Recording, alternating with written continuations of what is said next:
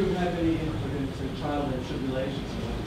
Oh, yeah. Uh, no, I did not. Every time I, I heard a rumor, I'd call and uh, uh, Rick Berman would say, we're not doing anything, David. We'll call you if we're doing something. And, I, and one time I called him and, and he said, no, we'll, we'll call you. And I said, well, what do you want me to tell the reporter from the New York Times who's calling me back in a half hour for a comment on Trials and Tribbleations, the episode you start shooting next week? And there's this long pause. He says, "What do you want, David?"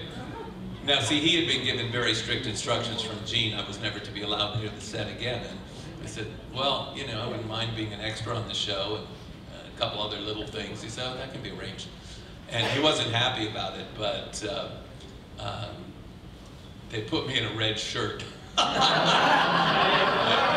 most senior red shirt ever. Uh, yeah, it was yes. the red shirt who survived for 20, 30 years. So. So anyway, yeah, yeah. So. Who brought his own tribble to the Yeah, and I brought a tribble uh, from the original episode, and we put it in a shot. So I had a tribble that had been both episodes. And at one point, I did auction it off to somebody many years later uh, because we're in the process of downsizing. I said, I don't need this, but some fan will have fun with it. And uh, so, uh, but we had a lot of fun. And the director, Jonathan West, is just a super guy. He was, uh, oh, this happened. You'll love this story. They, they had a, a, a, videotape. This was back in the days of v, VHS. And they had a videotape the original episode, and they're looking for a specific scene because uh, they have to match it.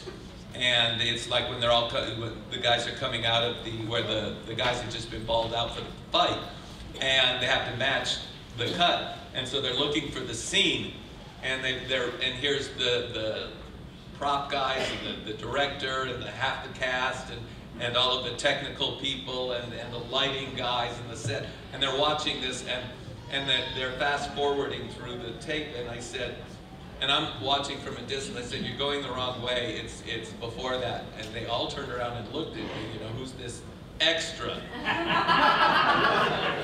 and Jonathan West says, well, if anyone would know, David would. He wrote it. and they looked at me again. Oh, oh, is that who you are and why you're here? so uh, it was cool. And it, it's, uh, but I, you know, they were having fun redoing, you know, going back to the original Trek, and I think it was one of their greatest episodes. Yeah.